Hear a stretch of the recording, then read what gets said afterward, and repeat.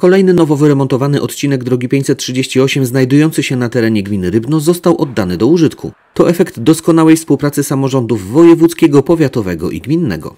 Kolejna inwestycja drogowa w gminie Rybno, tym razem na drodze wojewódzkiej 538, e, odcinek około 1,5 kilometra, zmodernizowany z Żabin w kierunku Gralewa stacji. Podziękowania dla starosty działdowskiego, który e, z, z Radą Powiatu przeznaczył ogromne pieniądze na, na tą inwestycję, no i podziękowania dla pana marszałka naszego województwa, Marka Gustawa Brzezina, który program drogi 538 kontynuuje i mm, nie skończy się to tylko na tym odcinku czy na tych wcześniejszych, ale będą kolejne odcinki tak, żeby na całej długości na terenie gminy Rybno droga 538 dobrze wyglądała. W najbliższym czasie zostanie pobudowana ścieżka pieszo-rowerowa Żabiny Tuczki, już jest wybrany wykonawca. Teraz e, rozpoczynamy rozmowy, jak i dokumentacyjne prace nad tym, żeby e, powstała ścieżka pieszo-rowerowa e, Tuczki Rybno. I plany moje są takie, że musi też powstać ścieżka rowerowa Dębień-Hartowiec, bo już między Rybnem a Dębieniem mamy.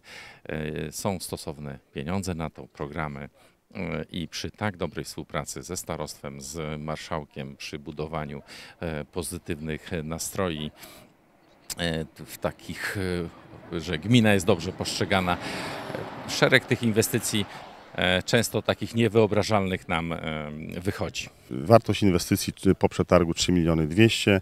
Jest to piękny odcinek z całą infrastrukturą związaną z odwodnieniem, jak i również bardzo bezpiecznie oznakowane, oznakowaniem poziomym. Także jest to naprawdę kolejny dobry odcinek, który poprawia bezpieczeństwo i, i oczywiście możliwość korzystania z, tego, z, tej, z tej drogi przez naszych mieszkańców. Budowa przebiegła w bardzo krótkim czasie przy wsparciu, przy wsparciu starostwa e, działdowskiego przy wsparciu Zarządu Dróg e, Powiatowych Działdowie udało nam się zrealizować, e, zminimalizować uciąż, uciążliwości dla mieszkańców, biorąc pod uwagę potrzeby lokalnych firm. Także jesteśmy zadowoleni z efektu końcowego. Oddajemy półtora kilometra drogi mieszkańcom i przedsiębiorcom. Inwestycje rozpoczęliśmy z końcem kwietnia, weszliśmy na plac budowy. E, roboty rozpoczęliśmy 1 czerwca zostały, e, został zamknięty odcinek z uwzględnieniem ruchu lokalnego.